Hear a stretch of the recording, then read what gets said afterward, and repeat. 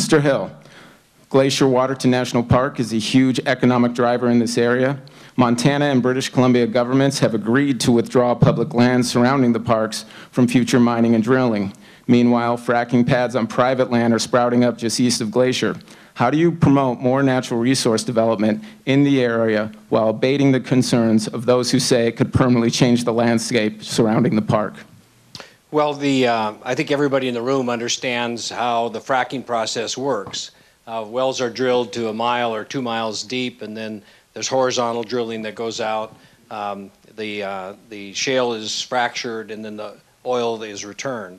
Um, there is no threat of surface damage. There's no threat, I think, of water uh, uh Im impacting the water of the area. So there really isn't any serious uh, environmental impacts that come from that process as long as it's far enough away.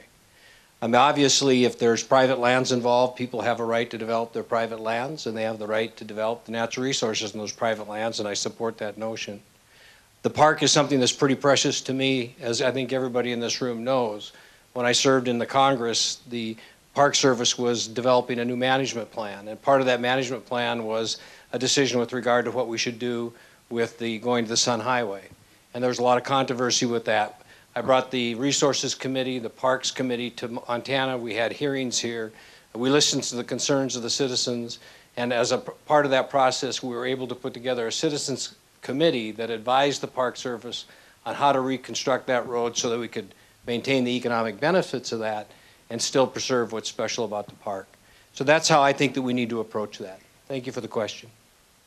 Mr. Bullock, two minutes.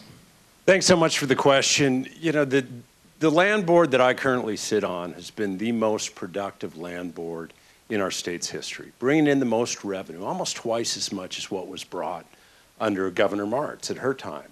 And I think that the mantra that I and others have had is we responsibly develop our resources. When we talk about this area as one example, um, the land board voted actually to make sure that there was no surface occupancy on areas around the North Fork because there are some places that we need to make sure that we protect. And especially also think about what one of the big economic drivers is in this area, and that's tourism. It's the opportunity to see these beautiful areas, to come. People come from all around the world to do so. So we need to preserve that and always protect that and make sure that we keep that in mind when we responsibly develop. Another area would be um, timber management. You know, this land board's actually sold about 215 million board feet of timber. And on the state side, we do it, we do it well, and we keep our working forests healthy. That was 21, 2,153 jobs for the state, about half of them just in this valley, in this area alone. So we can do both. One thing we don't want to do is go back about 60 years and not be thinking about what this place is going to be like for future generations. We, we can draw on, though, the clean water, the healthy areas, responsibly develop, but also preserve those areas that need to be preserved, not only for today, but for future generations. Mr. Hill, one minute rebuttal. Surprisingly, I, I, suspect this may be one of the few occasions tonight where, John, where uh, Steve and I will agree largely on the answer. There certainly are places that are uh, precious and special. Um, but certainly we want to develop energy in Montana. It's a tremendous opportunity for us to improve our economy, to help the nation become energy independent, to help us deal with the structural deficit, the structural trade deficit that we have in this country. So energy development is very, very important as well. So the fact that we can find balance between developing the resource and preserving what's special about Montana is something I think we can all agree on. Thank you. Um, this question is for Mr. Bullock. It's no secret that the recession and falling wood prices have hurt the timber industry in northwest Montana. But in recent years, lawsuits have also held up harvesting projects on public lands that were supported by the U.S. Forest Service and could give the industry a lift. Do you support, support ways to expedite or limit, it, or limit litigation on approved timber and other natural resource projects? Or do you think the process works fine as it is? Well, I think that is an area, taking back to my earlier question, on state lands, we've been able to do it well. And we've been able to do it in a way that we responsibly manage, money comes in for the school trust, but we're also not wrapped up in litigation forever.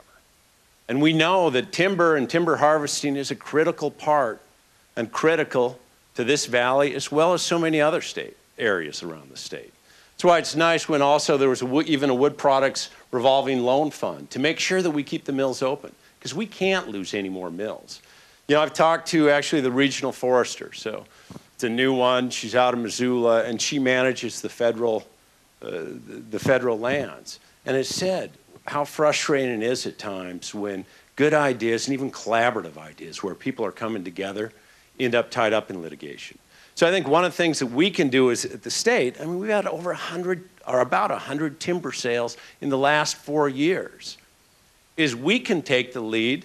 And that's what I said to her, is that let's find those collaborative state-federal partnerships where actually the state can take the lead in managing those lands and working together. And that's going to make it much less likely that these sort of lawsuits are occurring.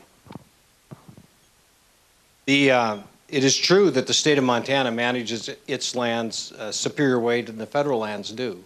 Uh, We're able to harvest on them, the lands are in better condition, they provide better wildlife habitat. Uh, Of course, the challenge is, is that the federal lands are the issue here. And the fact that over the last two decades, there's been less and less access to those federal lands. In fact, Steve is supported largely by the environmental groups that are part of the effort to keep us out of those public lands. So one of the things Jon Sonju and I have decided to do is that we're going to, uh, within the governor's office, we're going to become an advocate for the state of Montana. We're going to be an advocate in pushing against the federal government and against those environmental groups who are challenging access to those lands.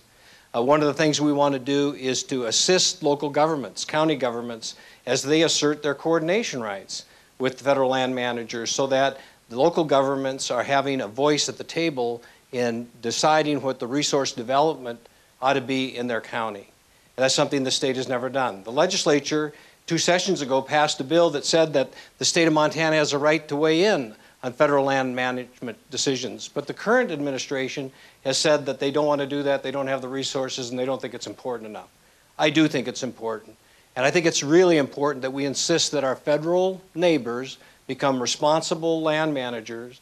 They manage this resource in a way that helps our economy, improves the value of the resource, increases the opportunities for, for, for wildlife on that resource to improve hunting and other recreational opportunities. And so that'll be a dramatic difference between the Hill administration and I think the Bullock administration and the current administration. Mr. Bullock, one minute. Yeah, the congressman also says Steve's supported largely by these environmental groups.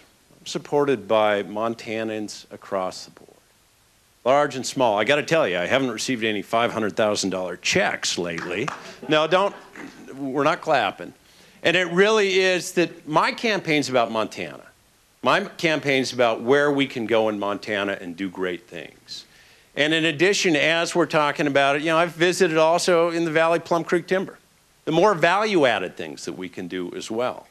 But I get contributions large and small. And I don't think that anybody could say, even see my wife's aunt out there. So I think she even helped me out. I don't think anybody could turn around and say that it's just one group that's supporting me. It's all Montanans from all walks of life, and indeed Democrats and some Republicans as well. Thank you. Um, Mr. Hill, your next question will come from Myers Reece. Mr. Hill,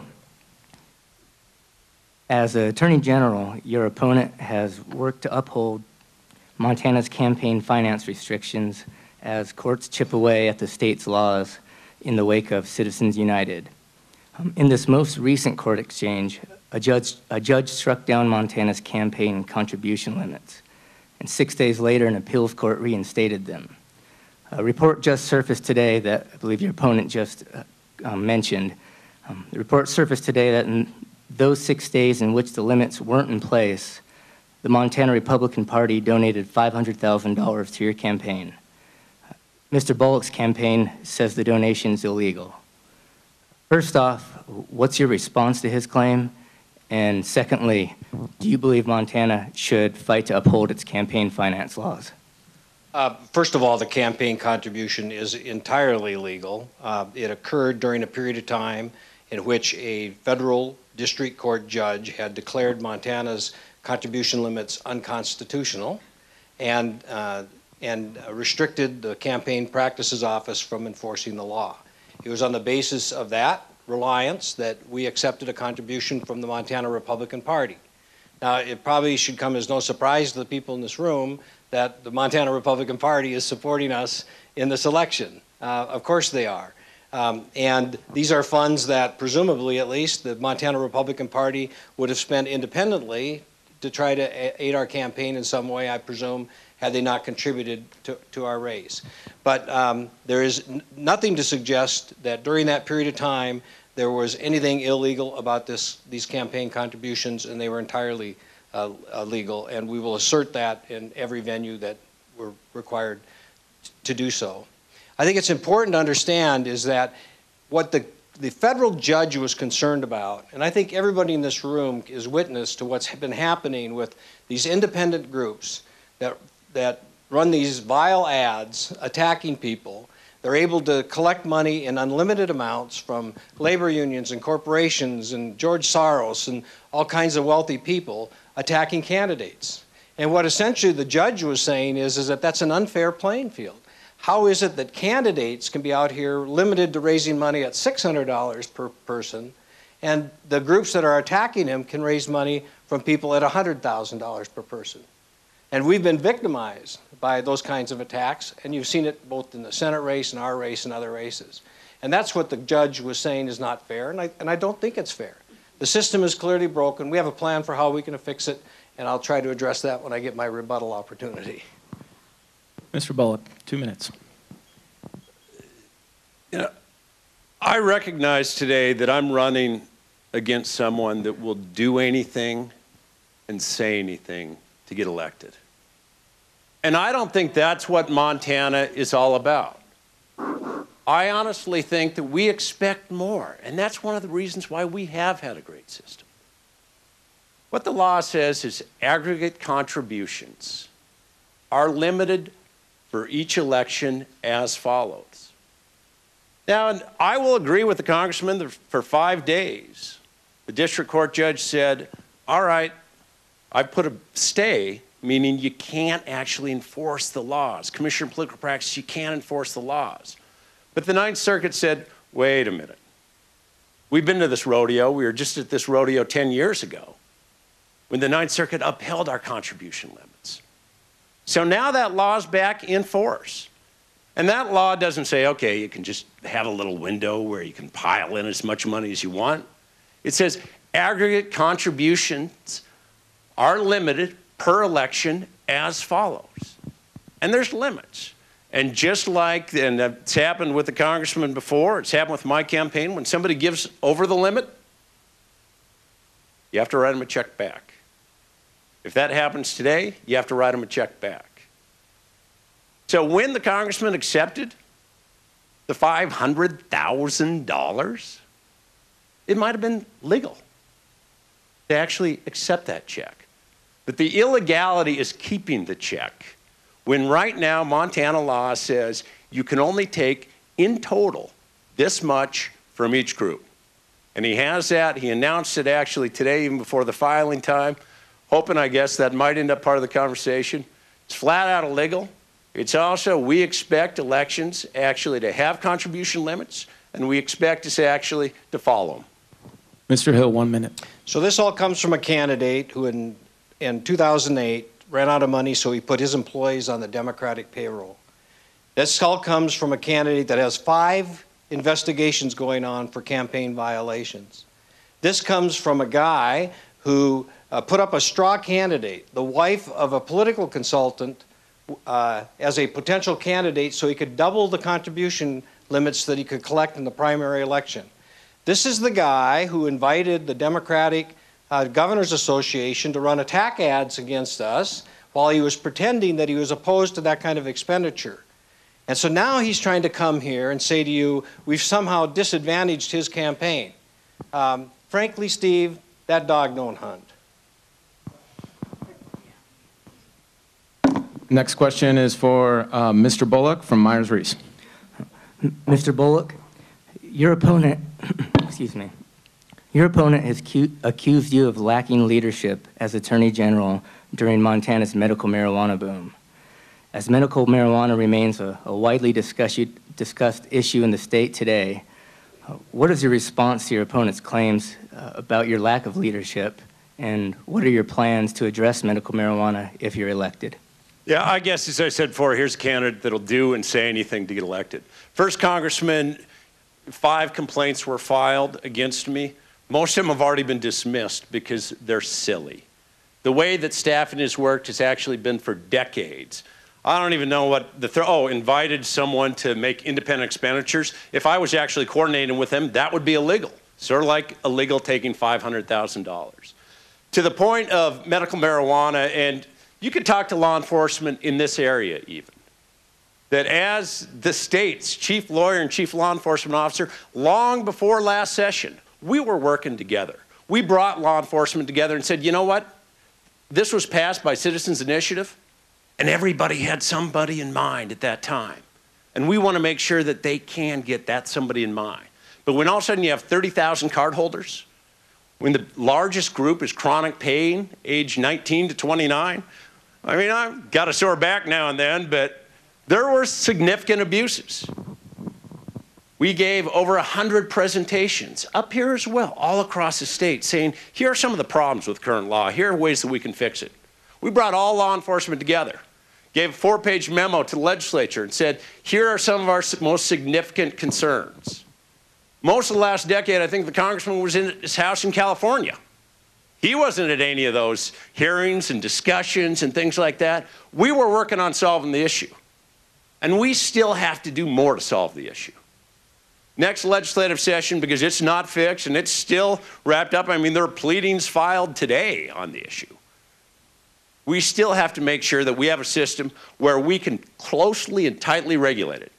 Those that are entitled to it under the law, we want to get it, but we also don't want abuses. And we can make that system. Other states have gotten a lot closer. We've gotten closer in some respects, and we'll get further next session. Mr. Hill, two minutes. My criticism of Steve uh, comes from multiple sources. Uh, I think at our debate, it was in, um, I think it was in uh, probably Butte, when this issue came up and, and I challenged him about it. And he said, Well, we responded to the problem. We had, my staff had 75 meetings and I wrote a four page memo. I mean, I guess if we can solve medical marijuana writing a four page memo, then maybe we can solve the pension problem with a six page memo.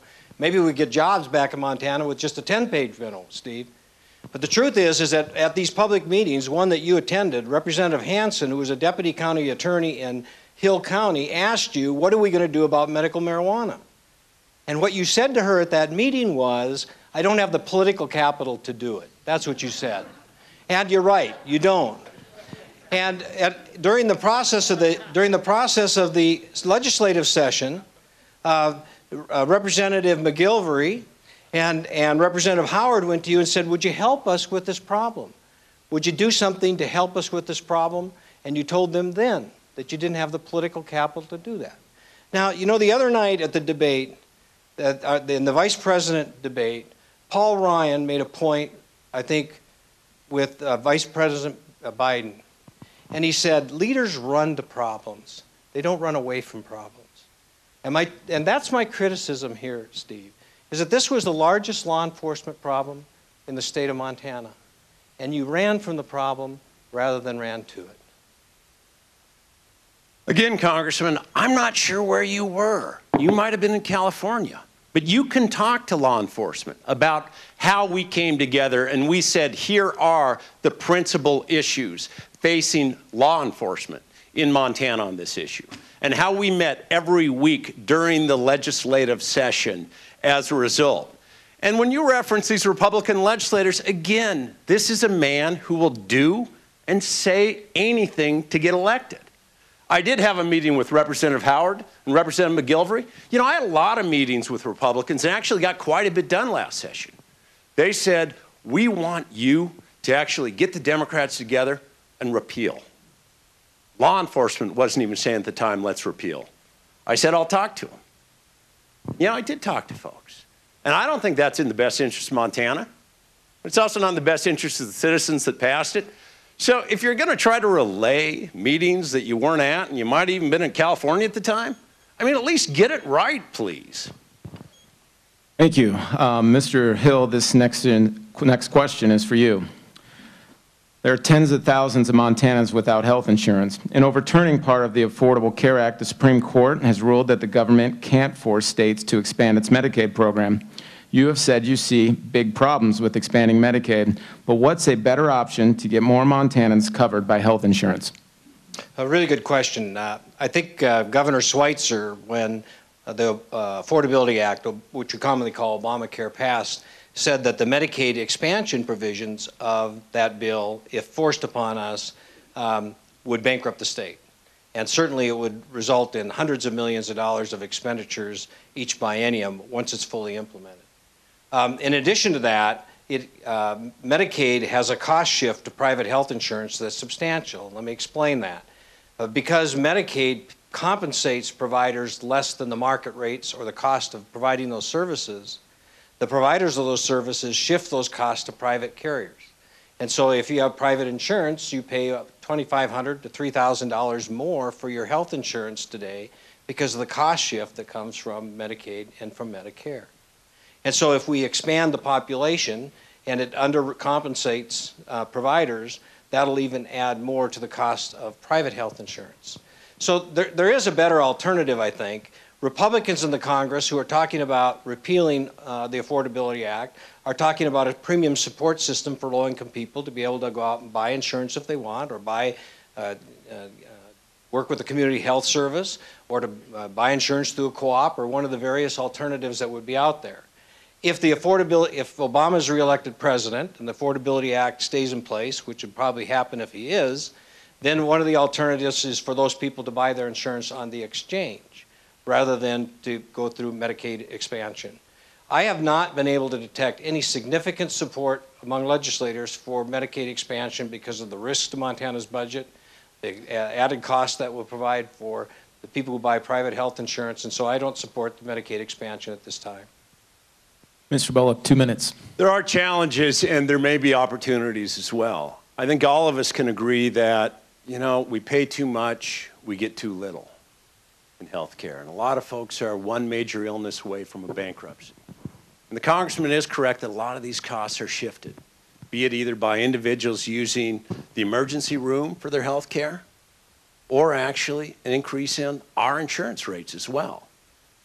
We can work on a Montana made solution. You know, even in this valley, I've met with the hospital at, up here in Kalispell, also in Whitefish. And they're saying, all right, let's figure out a way to start actually paying for results, not repeated tests. And let's figure out a way that we're actually working to make people more healthy. And there are possibilities to do that. Now, the Supreme Court came down and made its decision. Feds haven't even written the rules on what possibilities there are for states to do so. Other states, be it Oregon, be it uh, uh, North Carolina, not with a Medicaid expansion, but it said, let's let us design a program and let's use Medicaid as part of it. But we can go a lot further. And there's some good things that are happening there. So I think what we need to do is figure out what all the ground rules are before we say there's no way that we're going to even look at it. An election, a decision doesn't have to be made until 2014. Between then and now, I think we can figure out a heck of a lot and decide if it's possible to make a Montana made solution that works for us, that's fiscally responsible, and it'll actually make sure that more people are healthy in Montana, which is the ultimate goal of this whole healthcare system. One minute. One of the things you said earlier, I've challenged Steve on the issues of leadership, and this is another example where I've criticized him on leadership, and that is he didn't join the other attorney generals in challenging Obamacare. Now, a lot of people believe that that challenge only was associated with the individual mandate, which, of course, the Supreme Court struck down as uh, the, the authority of Congress under the Commerce Clause, which is what they were arguing all those times, and said, well, it's okay as a tax. But in my view, just as important was the challenge with regard to the mandatory, the mandatory Medicaid expansion that was part of the Obama care. And you may recall that the Supreme Court struck that down, said it was coercive said that it breaks down the principles of federalism. Part of uh, the responsibility of the next governor is somebody to stand up for the state of Montana. And sometimes it means standing up against the federal government. Steve didn't do that in this instance, and it makes me wonder whether he would do that as governor. I will. Thank you. Mr. uh, Bullock, this next question is for you. You have proposed using part of the state's surplus to provide homeowners a one-time $400 property tax rebate if elected governor, while your opponent has proposed permanent tax relief to made up, be made up partly by oil and gas revenue. But do you think it's appropriate to be discussing tax cuts when the projected shortfall for the state's government worker pension system exceeds 3 billion over 30 years?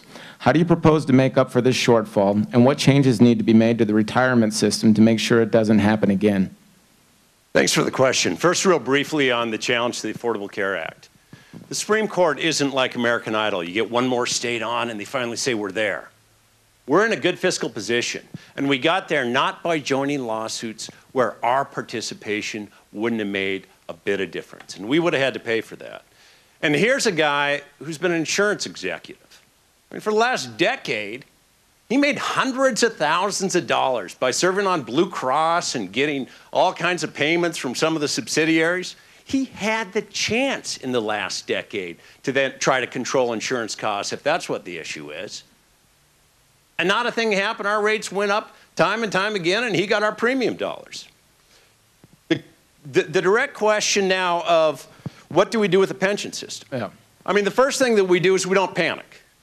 It is underfunded, but just sort of like if you looked at your mortgage today and said, oh my gosh, I owe X hundred thousands of dollars, it could make you a little nervous. But we chip at this over time. And that's how we can do this, and this, that's how we can solve the problem. The employer ought to pay a little bit more. The employee ought to pay a little bit more. We can chip in a little bit from the state, and we can preserve the system. If we eliminated it today and said, all right, we're all going just to straight 401ks, that bar tab, the amount that we owe, all of a sudden gets a heck of a lot bigger. So let's actually do it responsibly, recognizing that we need to get to work on it, and we can do it in a bipartisan way, and we do that over time, that system's preserved. And I think that's better for our public employees, our teachers, our firefighters, everyone across the state, as well as the overall viability of the state as well. Two minutes. So Steve didn't think that joining the lawsuit over Obamacare was important enough or it would have mattered.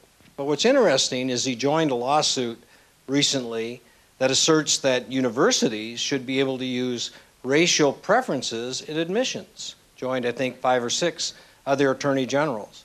Uh, just recently, the EPA uh, put out new rules on utilities that shut down the Corette plant in Billings. Uh, 23, I think, attorney generals, six Democrats, 17 of them Republicans, joined in a lawsuit to try to stop those rules. Montana is the only coal, coal producing state in the country that didn't join that lawsuit. Now, I think that joining a lawsuit that preserves 40 jobs and the power to 100,000 homes in Montana is a lot more important than whether or not this university or some other university ought to be allowed to use racial profiling in their admissions uh, process. And so I disagree. On the big issues, Steve, you haven't been there. And that's the assertion that I've been trying to make. Now, with regard to the surplus, I am proposing that we take the oil and gas revenues that accrue to the state of Montana, about $230 million in, in 2011. About 105 million of that goes to the, the local governments and leaves 125 million a year, 250 million a biennium. That we use that to fund education and have that offset property taxes so that every small business in Montana, every homeowner in Montana will get property tax relief. And this will be permanent property tax relief. It'll be next year and the following year and the year after that and the year after that. Steve's plan, which is a one-time $400 rebate, even the members of his own political party See, it's lousy politics and it's lousy policy, and it is. We want to provide permanent tax relief to Montanans so we can grow our economy, so we can put more money in the pockets of families, so that they can do more things for their families, and that's what our plan is. Mr. Bullock, one minute. Sure, brief, briefly uh, picking up on where he was, and there is a difference between joining a lawsuit and a friend of the court brief. I did join a friend of the court brief saying, you know what, universities can actually use racial preferences. In Montana, 10% of the kids coming out of our high school are American Indian. The Board of Regents for years has had let's provide those opportunities and figure out a way to have a diverse student body. And that was actually just a friend of the court brief, it's not spending your money on lawsuits, which wouldn't make a bit of difference. Now, he poo-poos the $400 that each of you would get, that actually Jon Sonju, his running mate, was the one that carried. His tax relief plan, if you're the average Montanan, you're gonna get 100 bucks. If you have a $10 million house on Flathead, you're gonna get 11,000. If you're a big out-of-state corporation, you're gonna get a lot more. I don't think we wanna overturn what we have with our surplus and things by things like that. Thank you. Uh, Mr. Hill, your next question will come from Myers Reece. Mr. Hill, you invited Wisconsin Governor Scott Walker to a campaign event in Kalispell recently. Walker is known for taking on public sector unions as part of his effort to tackle Wisconsin's budget crunch. Would you support a similar proposal in Montana to Walker's law in Wisconsin, which repealed most collective bargaining rights for public employees? And for private sector unions, would you support right-to-work legislation? Good question. My, my view about unions is really pretty simple. If, if you want to be a member of a union, you ought to be able to join a union, whether you work in the public sector or you work in the private sector. If you don't want to join a union, you shouldn't be compelled to join a union. And so I support right to work. And the reason I support right to work is, from my view, it's a, it's a personal right. It's a right of assembly. You have the right to associate with the union, or you have a right not to associate with the union. Um, it, I don't have anything against unions. Uh, it's just that I believe that this is a personal right that people ought to have. But what is important to understand is how much better right to work states do than Montana. I mean, if you look at the right to work states in the western United States, all but one of them have substantially higher per capita income than we do. People have larger take home pay. And one of the reasons for that is, is that about half of the major businesses in this country won't locate a business in a state that's not right to work. And so we preclude ourselves from the opportunities that accrue to us if we were a right to work state. We're surrounded by right to work states. North Dakota, South Dakota, Wyoming, and Idaho are all right to work states. They're all producing jobs at a faster pace than we do. All but one of them have higher incomes than we do. There- was a time when we used to tell North Dakota jokes. Remember that? Yeah, today, the average person in North Dakota makes about $50 a week more than the average person in Montana does because of the dynamic of their economy. Their unemployment rate is under 3%. Ours is over six, nearly six and a half. Uh, uh, South Dakota went through the whole recession with a four, 4.4% maximum unemployment rate. Uh, we got over 7%, the peak of this uh, decline. So I support right to work because I know that it'll produce more jobs and better paying jobs for the people of Montana. Mr. Bullock, two minutes. Yeah, and Governor Walker was up here last week, and uh, the congressman said, Boy, I admire that guy. I admire that guy in a state where Forbes says, you know, Montana is actually 23rd best in the nation for businesses. Wisconsin is 40. Last week, the Tax Foundation came out and said we have the eighth best overall tax climate for small, medium sized, all businesses. Wisconsin is 43. Teachers, after Governor Walker did that, have lost four to five thousand dollars a year in take-home pay. That's not the kind of admiration, not the kind of Montana that I think that we need. We have uh, you know, the right to organize and collectively bargain provides benefits for employers and employees. No one has to join a union, they just have to pay their fair share under it. And I've also seen, I've seen, you know, I've met apprentices, young electricians, young carpenters that are being trained, trained and are going to have great jobs. The Carpenters Union is actually the sixth largest publisher of instructional manuals for carpentry. So actually creating skills and creating opportunities. I don't think that the answer to all of the problems or even the problems that the congressman wants to create is to become Wisconsin. We're better people than that. And we can be a lot better people. Don't, Uh, let, let's not clap and not boo and things like that. We can be a lot better people than that. And as governor, I'll make sure that we are better people than that. One minute. Uh, Governor Walker inherited a $3.8 billion budget deficit. Um, he inherited that from a Democratic governor. And so he had a pretty tough proposition. In uh, Wisconsin, the uh, schools required by agreement and by law to buy their health insurance from a health insurance company that was owned by the union. And once they put that out for bid, they were able to save thousands and thousands of dollars on their health insurance. And so part of what he said is that we're not going to bargain on that anymore. And so, uh, you know, if you take the, the 10 top performing states in the country in terms of employment growth and, uh, and replacement of jobs, nine of those are Republican governors. And one of them is Scott Walker. And I admired the work that he did in tackling a really tough budget situation and solving it. What's really interesting is the teachers there, for the most part, are happy. Those that were given an opportunity to not stay in the union chose not to stay in the union. And that's what I think we have to have as an option in Montana as well. Thank you. Um, Mr. Bullock, next question to you from Myers Reece. Mr. Bullock, throughout the campaign, your, your opponent has described Montana as having a hostile business climate, uh, pointing to the state's low ranks in per capita income, job creation, wages. Uh, here in northwest Montana, counties have consistently posted the state's highest unemployment rates. You have sought to paint a more optimistic picture of the economy. Do you believe, uh, given the statistics he points out, that Montana's economy has been on the right track in recent years? And if so, why? I think there were national challenges. I mean, we've been facing the most difficult time since, frankly, the Great Recession, and that's throughout the country. This area was certainly hit, and it was hit by housing prices and others. And as Attorney General, I've been working. We actually have foreclosure counselors working and actually trying to get people so they can stay in their home. But I think that there is a real distinction here because even groups that he cites would say, all right, you know, we're actually eighth best right now, growing as far as per capita income, seventh best long term income. Times I'm not running against uh, former congressman, I think I'm running against Chicken Little. He's saying the sky is absolutely falling. In Montana, consistently, we've had unemployment rates lower than the national average. We were one of only a couple of states in the whole nation not to go in the black.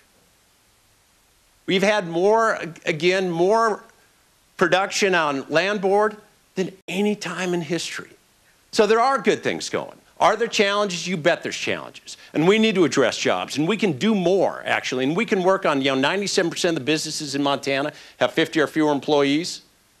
So let's build those Main Street businesses. That's why in our jobs plan we talk about a Main Street Montana task force. That's why we talk about a business equipment tax for 11,000 Montana businesses and try to make sure that the revenues and the opportunities are actually staying here. It has been challenging times. It's been challenging times across the country. But there are good things happening in Montana too. I'm not going to say the sky is falling, everything's falling apart, and cherry pick different statistics. I'm running for governor to be the chief promoter of Montana, not the chief detractor. And there are across the board, even when we look at, so where were we under the last Republican administrations for governor? There's good things happening now. Mr. Hill, two minutes. Last Republican governor uh, was Judy Martz. We produced about 26,000 new jobs in four years. Under Governor Racicot, the governor that preceded, we produced 70,000 jobs in uh, eight years. The governor preceded that, a Republican governor, Stan Stephens, we produced about 30,000 jobs in four years. Under this governor, we've produced uh, less than 20,000 jobs in eight years. I think we can do better than that, and I think Republican governors that preceded did do better than that. Here's the fact there are a lot of great things about Montana. But if you want to make Montana a more prosperous place, if you want to create more opportunity, you have to say, well, what are the things that are holding us back? And that's what I've been trying to focus on. What are the things that are putting a restraint on our ability to grow this economy? And there are two numbers that just stick out like a sore thumb. One is, is that the, the U.S. Chamber of Commerce rates our legal climate 45th in the nation. That is a hostility to business. And it translates into the fact that we have the most expensive business liability system in the United States. If you drive a car, you're paying the fourth most for your car insurance in the country. Is there a reason for that? Yes, there is. It's because we have a legal system that is hostile to business. Our regulatory climate is similar. Forbes magazine says we're 47th, but a lot of groups, almost every business group that evaluates Montana's climate we're in the bottom third. The American Legislative Exchange Council just examined all the states. And they said, and here's an interesting statistic our four neighboring states are all in the top six. Montana is 36th in terms of opportunity. So, what we need to do is challenge ourselves to say, let's build on what's good and what's right, and there's a lot of that. But we also have to turn to the things that are challenging and say, let's fix them. And that's what leaders do. When you're in business, you say, if we want to be better than we were last year, let's tackle the things that we didn't do as well as we could. And that's what I'm saying that Montana needs to do. Mr. Bullock, one minute. Yeah, I, I think given the fact that we have nationally even been in the worst recession since the Great Depression, some good things have actually happened and will continue to happen. Now, the congressman puts out the U.S. Chamber of Commerce like, well, th- this is almost like reading from manna from heaven. I mean, these are the guys that also put extra fingers on Jon Tester. And when we actually talk about the regulatory climate, should we make sure that it's as efficient and effective as possible? You bet we should. And the congressman worked for the previous two governors, Governor Martz and Governor Racicot. I'm not sure what all regulations he got rid of other than deregulating our power supply. I know how that worked out for most of Montana. And it's also, if there are obstacles, we should sure address them. And I think that we do address them. But let's again not just say the sky is falling. Let's say we can always do better, and we will do better. Thank you. Uh, Mr. Hill, the next question is for you.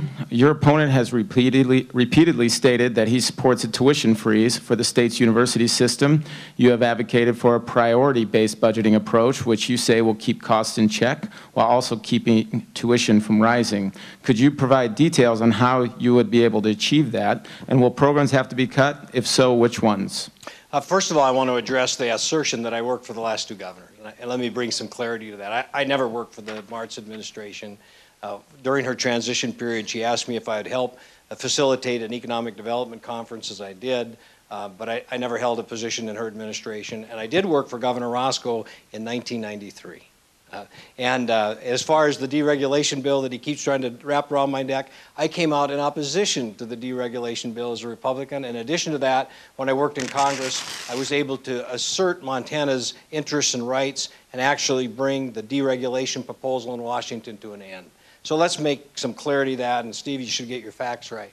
So now, with respect to the question that you just asked with uh, tuition freeze, I, I also believe that we should have a tuition freeze but we ought to be managing the university system in a way that puts keeping tuition low as the first priority in budgeting of the university system, not an afterthought in the budgeting of the university system, which is what I believe happens today.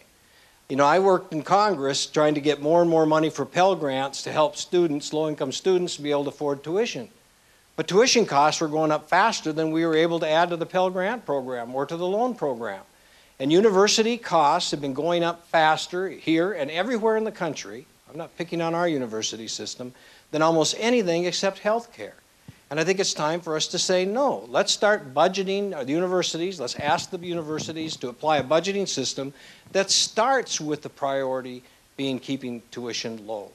I'll work with the university system to help them identify potentially what programs may be affected by starting with a zero tuition or a very low tuition increase. And then we can take that to the legislature and make a choice. But the way it works now is they say, well, you know, we'll just raise tuition if you don't give us more money. I'd rather look at what the other alternatives and the other choices are before I start asking for more money from the legislature. Mr. Bullock, two minutes. In 1988, when Stan Stephens was running for governor, he actually even had TV spots that said, you know what, I'm going to do this zero based budgeting. We'll start everybody at zero. And then we'll go from there. Much like priority budgeting or whatever the congressman is saying is throughout that. You know what? After he campaigned on that, he never even tried to implement it. Governing magazine this past week looked at Alabama. Alabama came out 2004 and said, you know what? We're going to try this priority based budgeting. Jettisoned it. And what's happened in the last two years as the congressman's been run for governor? Is he's been saying priority based budgeting, but he hasn't actually said what his priorities are in investing and investing in our state. And I think that's a real distinction. I came out and said, you know what? When the last legislature didn't adequately fund higher education, there's tuition increase. That's a tax on every working family. And we need to make sure that we keep tuition frozen. I will keep it frozen.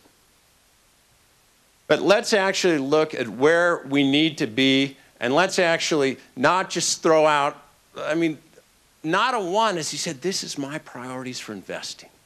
What he said is that we'll cut essentially all the taxes that have already blown through the surplus we have and more. Let's not think that we're overly generous to higher education. I mean, our educators, the professors, are paid bottom of the nation. We went from a one time 70% of the educational budget was paid for by the state, 30% was actually paid for through tuition and others. That's now flipped. I'll challenge every expense, and I'll make sure we're spending the money correctly. But I'll also make sure that we're not doing it on the backs of Montana's next generation. Mr. Hill, one minute. Priority budgeting, simple idea. Um, You start with, what are the values that we're trying to achieve in this program or this activity of government? And then what, uh, how does this program achieve those? And then how do we measure what we're trying to achieve?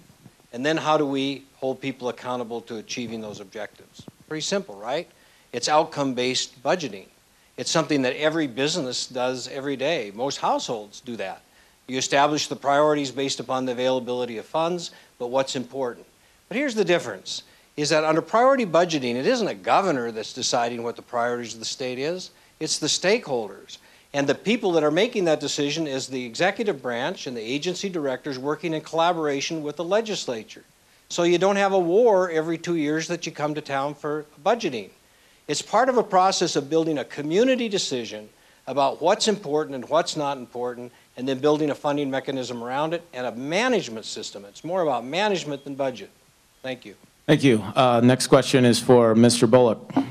Mr. Bullock, in previous debates, uh, your opponent has discussed the poor relationship between the governor's office and Republicans who who control the state legislature. Governor Schweitzer, following the last session, vetoed nearly 80 bills, some with a branding iron that Republicans say mocked the legislative process. How would your approach to working with the legislature differ from the current administration? And are there any bills the governor vetoed last session that you would have supported?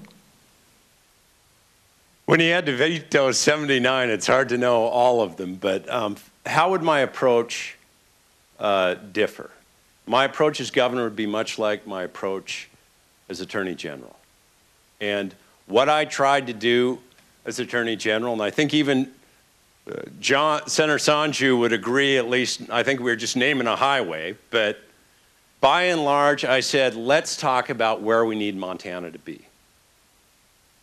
And we got substantial reform done with DUI. It was carried by Representative Lavin, a Republican up here.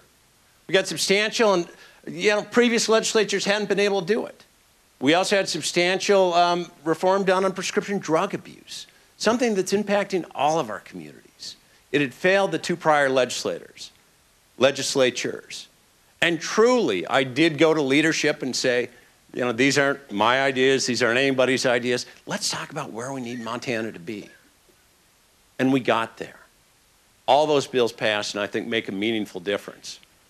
Representative Kerns, I don't know if any of you were in the House Judiciary Committee, but when he stood up and said, hell must have frozen over, I'm supporting something that Attorney General does. I said, Representative, we haven't met, it's cold out today, but I'll bet we can find some things in common. And we can.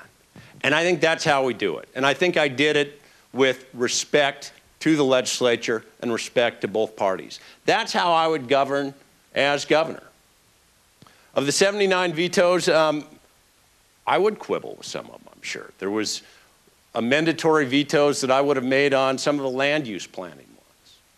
There, but there are also things that basically were at the core of what Montana is that the governor did have to veto. I will show respect to the legislative branch, but I'll also be forceful and veto bills when they're in the, not in the best interest of Montana. Mr. Hill, two minutes. Uh, There are a number of bills that uh, I would have signed that the governor vetoed, obviously. Uh, One of them was a bill that would have given parents control over whether or not they wanted their children to have sex education in kindergarten. I don't believe that I want my granddaughter to be forced to have, forced to have a sex education course, graphic sex education course in kindergarten. And so I would have signed that bill. I would have signed a bill that uh, said that before an agency can pass new rules that would expect, uh, impact small business, they have to do some analysis of how that cost would affect small businesses. I think that was, uh, you know, a pretty good bill. There's a bill that you're going to get to vote on. Is now it's a, a referendum, and that is whether or not teenage girls, 16 or under, who are going to have an abortion, whether or not the abortion provider has to notify the parents of that girl before they perform that abortion. I think that's a good idea. It has safeguards in it for, with uh, opportunities to opt out and to bypass. Um, it also prohibits coercing a young girl into having an abortion. I would have signed uh, that bill. There was a bill that would have changed the medical standards in medical liability, the goal of which was to reduce defensive medicine. Today we know that we pay as, as much as a third of our health care costs are driven by unnecessary or wasteful health care. And a big part of that is defensive medicine. We don't want to have doctors to feel that they're forced to do tests on people that they don't think are necessary just because they're frightened of being sued. That bill, I would have signed, the governor vetoed it. There are a number of other tort reform bills that I think were good, that would have been helpful to our economy and helped us grow the economy of the state of Montana. So there are a number of bills that I think were good bills that would have helped create jobs and more opportunity in Montana, that would have helped strengthen our families, and I would have supported those bills. Mr. Bullock, one minute. I think there were also a lot of crazy bills. I mean, we're not going to create the economy of the future if we secede from the nation or go to gold standard or spend most of the time talking about silencers and ATLAs or bills that would actually restrict the opportunities to have public access on public lands, one of the great equalizers on all of us. There were bills that would have impacted women's health care decisions. Or bills that would have, you know, by, by initiative, we made a cyanide heap leach ban saying you can't do that at the headwaters of the Blackfoot. Much like you've dealt with here on the North Fork, was a bill passed by initiative. The governor vetoed it. We need to get to the point where we're really saying, what's going to move Montana forward? And I think that we can do that. And I think at the end of the day, Democratic legislators and Republican legislators, we all hopefully come in thinking about that, and let's try to get people together so we can get there. Thank you. Uh, Mr. Hill, your next question will come from Myers Reece. Mr. Hill, you've been critical of the Montana Fish, Wildlife, and Parks Department, uh, including its wolf management. Um, You've promised to bring significant changes to the department's agenda, commission, and leadership. Uh, The department has a large presence up here as the manager of wildlife and state parks and more. What specific changes can FWP FWP employees and the public expect to see if you're elected governor? Uh, What's interesting is, is I, I've driven 84,000 miles now, uh, all over the corners of Montana. And the reason that we came out with a comprehensive plan to deal with fish, wildlife, and parks is that every corner of the state I went into, people were complaining about fish, wildlife, and parks. Sportsmen were complaining because of the wolf particularly, but predator impacts on wildlife. Landowners were complaining about the lack of cooperation and working relationship with people within the agency, particularly the leadership of the agency. If you go into northeastern Montana, just recently, almost all of the ranchers and farmers in the Glasgow Valley County area have withdrawn from the block management program because of the insistence on the part of this agency to want to put bison everywhere in Montana. In fact, their official policy is that they want bison running around Montana like deer and elk. That doesn't work for people in agriculture, I can tell you. And so, and I've talked with I don't know how many dozens of landowners who've pulled out of the block management program that's reducing opportunities for Montana hunters and anglers to be able to access these wildlife.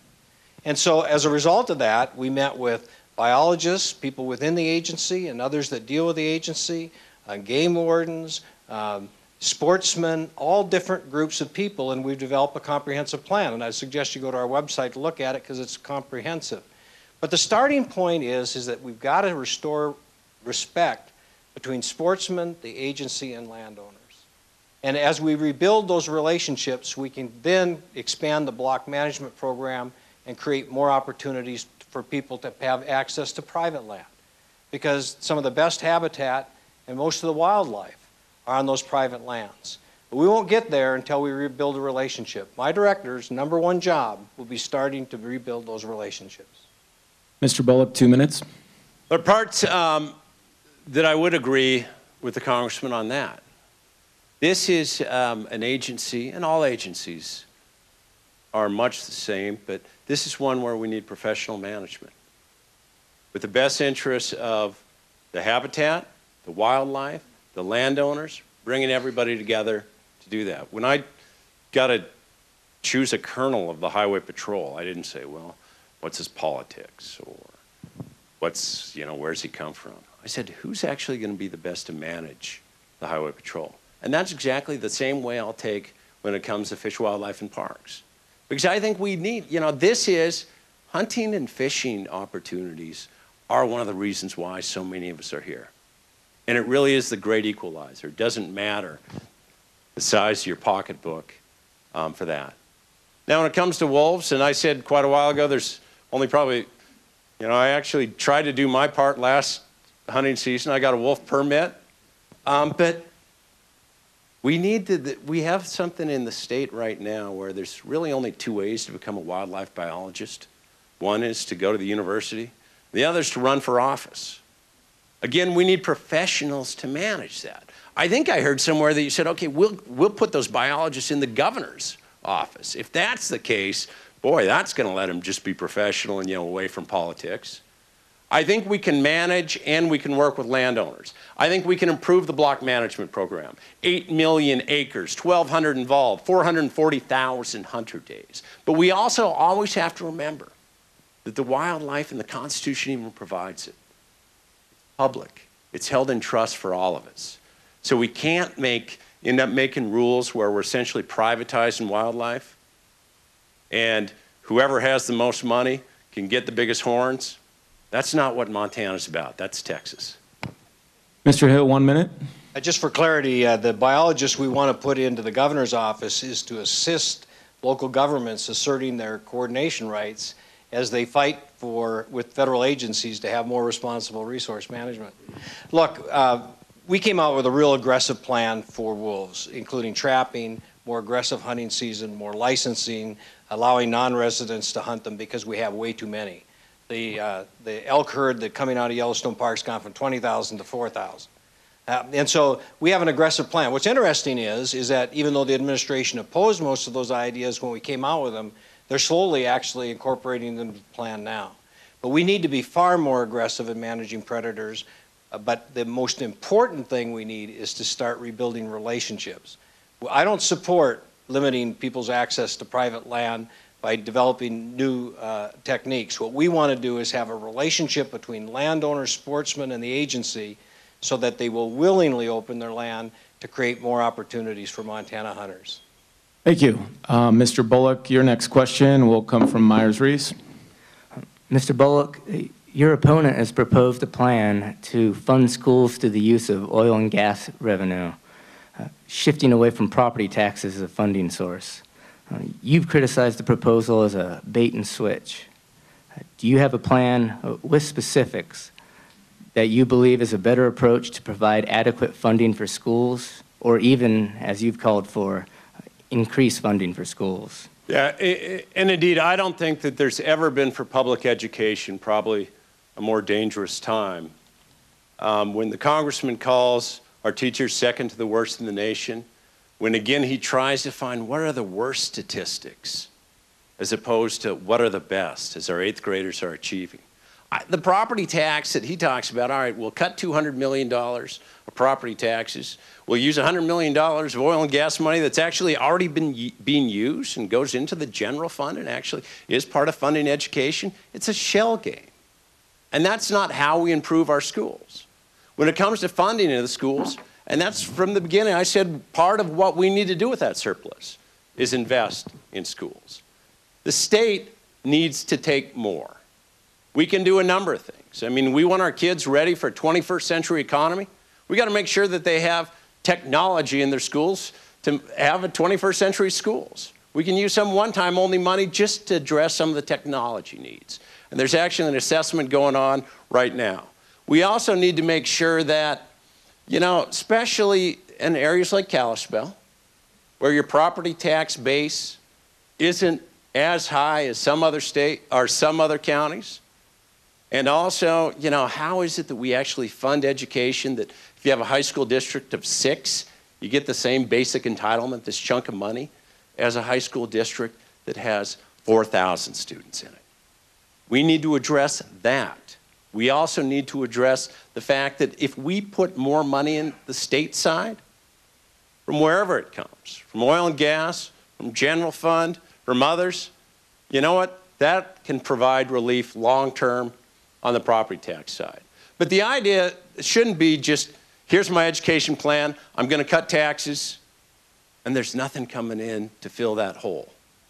We can do better in public education, and we ought to. Mr. Hill, two minutes.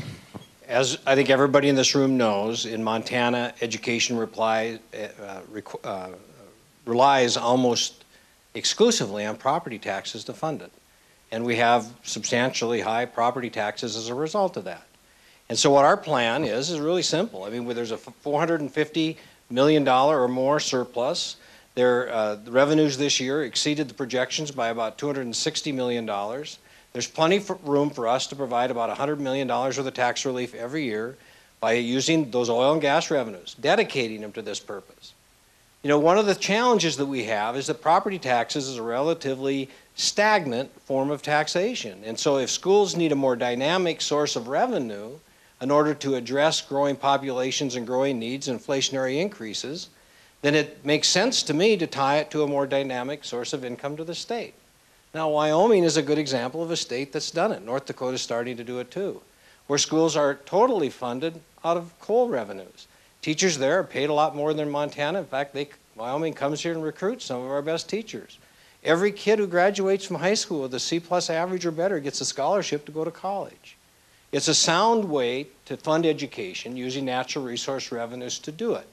Certainly, there are people that are afraid of change.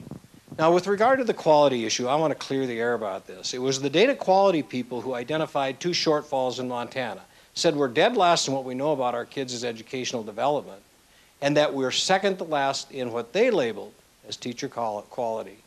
And I've always gone on to say the point of this is unfair to teachers, because it really isn't an assessment of the quality of our teachers.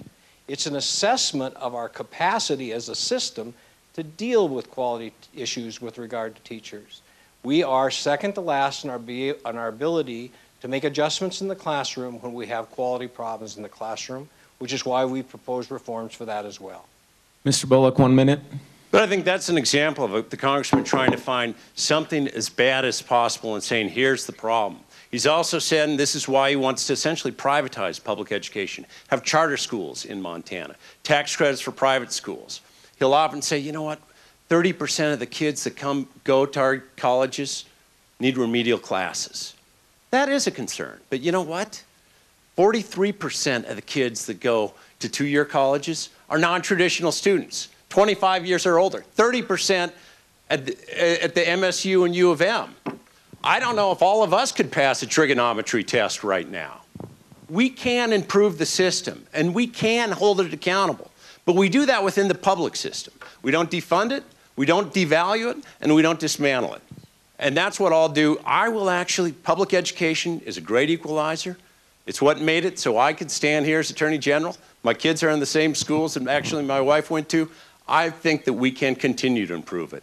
Thank you. Uh, At this point, we're going to change it up just a little bit, and we would like to give each candidate a chance to ask the other one question. Mr. Bullock, you will ask your question first, and Mr. Hill, you have two minutes to respond. There will be no rebuttals in this round of questioning. Mr. Bullock, your question. You know, we dr- addressed that a little bit before, um, Congressman, but I mean, state law says aggregate contributions per election are limited as follows. And that's per election. And the election happens, I think, in 20 days or something like that. So, how can you say in good faith when the law is clear that we limit it and that law is in force right now? As you and I are here, there is a limit on what an individual can give us in aggregate per the election, and there are limits on political parties. How can you, in good faith, say right now, when that's the text, that you can take $500,000 and spend it as you might want to? Two minutes, Mr. Hill. Uh, The reason is, is a federal judge has said that that law is unconstitutional. And that decision is still the pending decision in the state of Montana. Now, I happen to think a federal, I'd take a federal judge's opinion about this matter before I'd take your opinion about this matter. Uh, That federal judge has determined that Montana's campaign contribution limits are unconstitutional because they don't create a fair playing field for Montana citizens and they don't create a fair playing field for Montana candidates. And the reason for that is, is that all you have to do is look at what you see on TV today with attack ad after attack ad after, I don't know how many, how many of you enjoy that? I sure don't enjoy it. Uh, tearing people down, and these people can raise money in unlimited quantities. Uh, the, in, the Democratic Party, the Democratic Governors Association has created a PAC, and they've moved the money from PAC to PAC to PAC to PAC to try to keep people from being able to track how that money is being spent. And they spent millions of dollars attacking me, attacking my running mate, trying to destroy our reputations, our credibility, misrepresenting, for example, that we somehow support a sales tax that we've never, ever embraced. The point of this is, is that so these people can spend unlimited sums of money saying whatever they want, and the rest of us are limited to relatively small amounts. Montana is the smallest amount of contributions in the country. It's not a balanced playing field. And the, and the judge said this is unconstitutional. And I think he's right. We've got to get to a system where everybody plays by the same rules and where there's complete transparency in that process. We accepted a contribution from the party. Should come no surprise. The Republican Party supports us. Uh, and we've been completely transparent about that. It hasn't been wandered through a bunch of PACs and different things. You can see that it's there. You can make a judgment about that if you think that that's an improper thing to do. I don't think it's an improper thing to do because the other side has spent $3 million attacking me unfairly. Thank you. And now, Mr. Hill, your question from Mr. Bullock. Well, Steve, um, you know, one of the big challenges up here has been high unemployment rate. Uh, uh, you know, a serious challenge, I think, to this community. And this has been ongoing. I mean, we went through a period of some temporary prosperity here as a consequence of the real estate activity that occurred. But this area of, state, of Montana has lost literally thousands of jobs because of limited access to the federal lands. And this is particularly true in the area of timber harvest. That's been largely a consequence of environmental groups that do support you, support you energetically. So, what I want to ask you is are there any specific things that you're going to do as governor to help these people have some assurance that we're going to get access to these federal lands again, get some of these jobs back, so that we can support our families? Two minutes. Thanks for the question, Congressman. And first, just to clarify, too, that, and we've both been really busy and traveling, but there are three federal judges that just said and issued an opinion yesterday that said that one federal judge is dead wrong, so the law is back in force. But I agree, and as I said earlier, that communities have been hit. And we need to do all we can to actually improve those opportunities, especially in things like, and it wasn't up in Kalispell, but in Seeley Lake area where there was actually a collaborative project. You know, some of the environmental groups came together, the timber groups came together, everybody said, let's actually do this. It's going to be good for our forests, it's good for our mills, good things are going to happen. There was a lawsuit that was filed that I think had 42 different claims. Judge kicked out all of them but one. Now, I don't like those lawsuits. And I think that we can do things. As I said earlier, I've actually talked to the regional forester and said, look at what we've done at the state level and look at where we've been able to actually 215 million board feet in the last four years 100 timber sales were there dissenters At times, yeah, there were folks that were saying, I wish you wouldn't cut here, you wouldn't cut there. But I think we did it responsibly. And we did it with long-term aims toward the habitat. And we can continue to do that. And we can actually, and anytime, I'll fight with the federal government anytime we need to do. it. And I've done it as Attorney General on a number of issues. Turned around and said, you know what? I'll always protect our Second Amendment rights.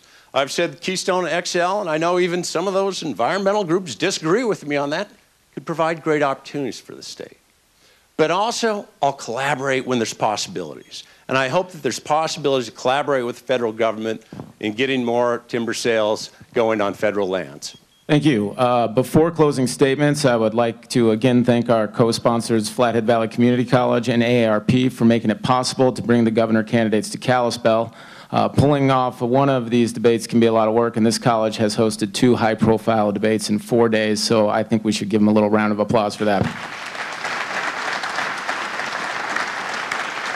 And now on to our uh, closing statements. Mr. Hill, you have two minutes.